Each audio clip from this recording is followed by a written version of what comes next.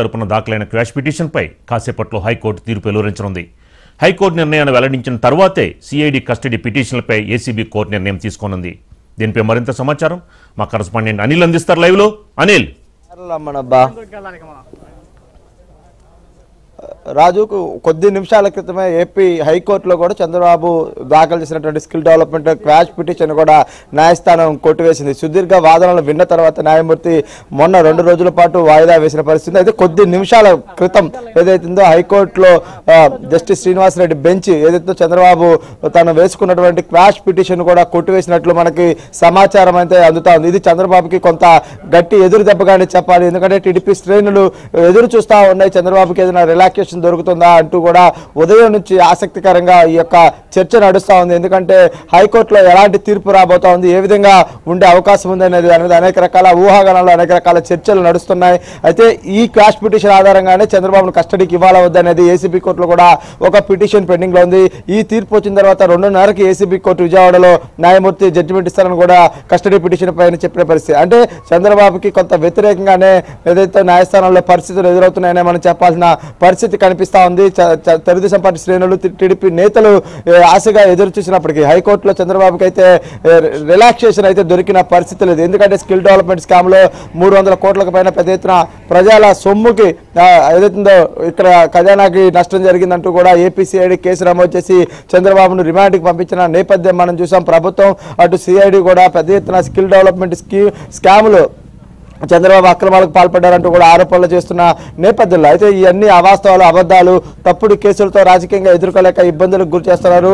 ఎలాంటి వాస్తవాలు లేకపోయినా ఎలాంటి ఎవిడెన్స్ లేకపోయినా తనపైన అక్రమ కేసు పెట్టారంటూ కూడా చంద్రబాబు క్రాష్ పిటిషన్ హైకోర్టులో దాఖలు చేశారు. గత అంటే ఈ బుధవారం కాకుండా గత బుధవారంలో క్వాష్ పిటిషన్ దాఖలు చేస్తే అయితే రెండు వాయిదాల తర్వాత చివరికి క్వాష్ పిటిషన్ కూడా న్యాయమూర్తి కొట్టివేస్తున్నట్లు కూడా ఏదైతే తెలుస్తూ ఉంది కొద్దిసేపటి క్రితమే ఆ ఆర్డర్ను కూడా న్యాయమూర్తి బెంచ్ పై నుంచి చెప్పినట్లు కూడా మనకు తెలుస్తుంది. అయితే ఇక చంద్రబాబు ఖచ్చితంగా ఈ కేసులో ఏదైతే స్కిల్ డెవలప్మెంట్ కేసులో ఆయన నా సుప్రీంకోర్టుని ఆశ్రయించాల్సిన పరిస్థితి కనిపిస్తోంది. సుప్రీంకోర్టుకి వెళ్ళిన తర్వాతే చంద్రబాబుకి ఇక ఎలాంటి నిర్ణయం అంటే ఆయనకు వెసులుబాటు దొరుకుతుందా లేదా?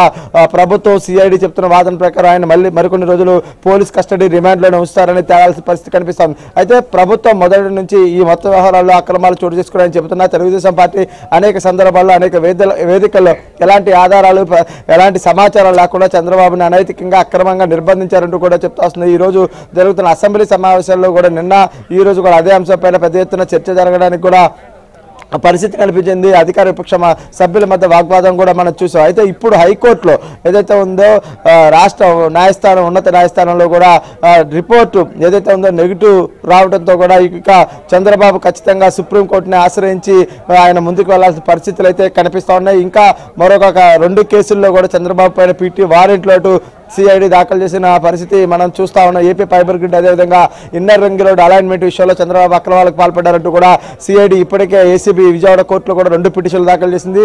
దానితో పాటు మొదటగా ఇప్పటికే చంద్రబాబు అరెస్ట్ చేసి రిమాండ్లో ఉంచినటువంటి ఏదైతే ఉందో స్కిల్ డెవలప్మెంట్ స్కామ్ విషయంలో కూడా చంద్రబాబుకు న్యాయస్థానంలో గట్టి ఎదురు దెబ్బ తగిలిన పరిస్థితి కనిపిస్తూ ఉంది. అంటే జ- న్యాయమూర్తి ఏ అంశాలను అంటే చెప్పారనేది మరికొద్దిసేపట్లో తెలిసే అవకాశాలు పూర్తిగా స్పష్టంగా కనిపిస్తూ ఉన్నాయి. అయితే ప్రభుత్వం చెప్తున్నట్లు ఈ మొత్తం స్కామ్లో మూడు వందల కోట్ల రూపాయలకు పైగా అక్రమాలు జరిగాయని చెప్పి ప్రభుత్వం అదేవిధంగా ఏపీసీఐడి వాదిస్తూ ఉంది. అనేక సందర్భాలు చెబుతూ కూడా వాళ్ళు ముందుకు వెళ్తా ఉన్నారు.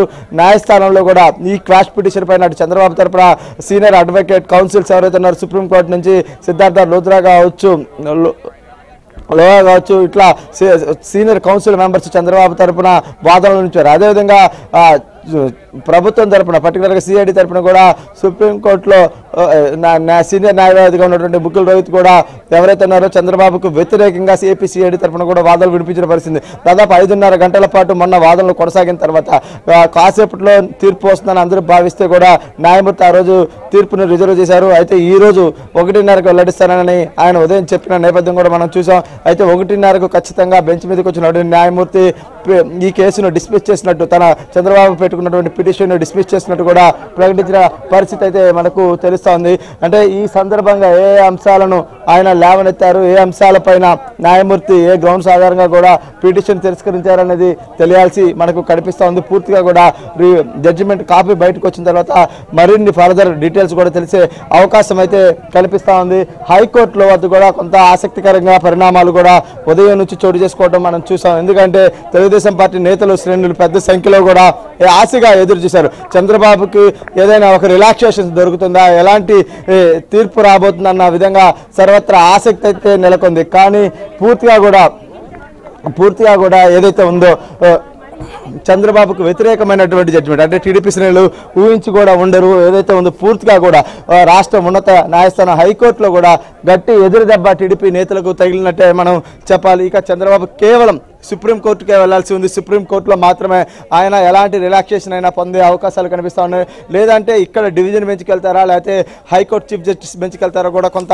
వెసులుబాటు ఉంది. కానీ ఆ రకంగా ముందుకు వెళ్తారా లేదా చూడాల్సిన పరిస్థితులు అయితే మనకు కనిపిస్తా ఉన్నాయి. పర్టికులర్గా చంద్రబాబు చంద్రబాబుకు సంబంధించి ఏదైతే ఉందో ఏదైతే ఉందో ఈ కేసులో రిలాక్సేషన్స్ ఇక దాదాపు హైకోర్టు నుంచి సుప్రీంకోర్టుకే వెళ్ళడానికి టీడీపీ నేతలు కూడా సిద్ధమవుతున్నట్లు కూడా మనకి పరిస్థితి అయితే అర్థమవుతుంది. ఎందుకంటే చంద్రబాబుకి ఊహించని రకంగా కూడా ఈ కేసులో అయితే షాక్ తగిలినట్టే కొంత హైకోర్టులో ఊరట లభిస్తుందని చెప్పి అందరూ భావించిన పరిస్థితి ఉంది. కానీ అందుకు వ్యతిరేకమైన పరిస్థితులు కనిపించాయి.